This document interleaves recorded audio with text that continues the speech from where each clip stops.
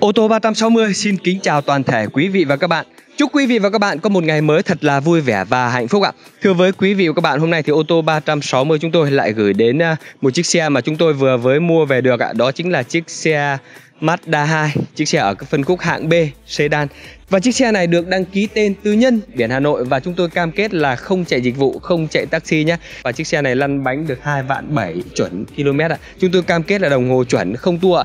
Tại vì sao là chúng tôi phải cam kết là chuẩn và chúng tôi lại không tua vì chiếc xe này còn bảo hành tại hãng ạ full lịch sử bảo hành bảo dưỡng tại hãng nhé chiếc xe này được sản xuất tại Thái Lan và sản xuất cuối năm 2019 nhập khẩu về Việt Nam là năm 2020 đăng ký tháng 3 năm 2020 ạ. Xe được đăng ký vào ngày 8 tháng 3 năm 2020 ạ, phiên bản 1.5 sản xuất tại Thái Lan, đăng ký tên tư nhân biển Hà Nội.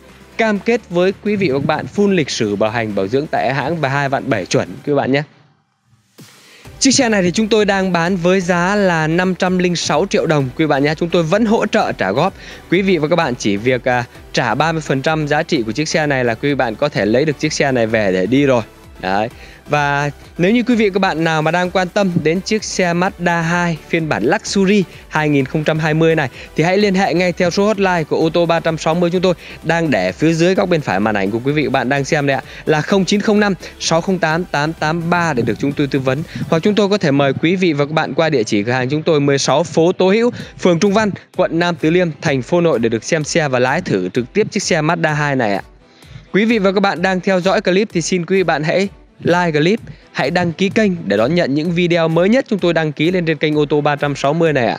Cảm ơn quý vị và các bạn rất là nhiều. Sau đây thì tôi sẽ mời quý vị và các bạn cùng tôi đi tìm hiểu về chiếc xe Mazda 2 phiên bản Luxury 2020 đã lăn bánh được à, 2 vạn 7 km đăng ký tên tư nhân biển Hà Nội này ạ. Mời quý vị và các bạn.